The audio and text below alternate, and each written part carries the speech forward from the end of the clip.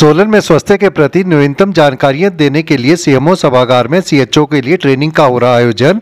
कायाकल्प biomedical waste infection control आदि विषय पर दी जा रही ट्रेनिंग। जिला सोलन के 24 सीएचओ ट्रेनिंग में ले रहे भाग अधिक जानकारी देते हुए जिला स्वास्थ्य अधिकारी डॉक्टर अमित रंजन ने बताया। अभी तो हमारी एक जो सी एच हैं पूरे ज़िले में अ, उनके लिए एक ट्रेनिंग है जो कि कायाकल्प बायोमेडिकल वेस्ट एनक्वास और इन्फेक्शन कंट्रोल मेजर्स के ऊपर हैं।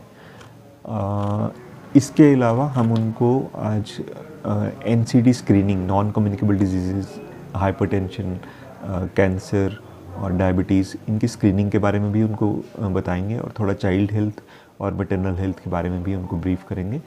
तो ये हमारे सी के लिए ट्रेनिंग चल रही है आज एक दिन की ट्रेनिंग है। कितने इसमें सीएचओ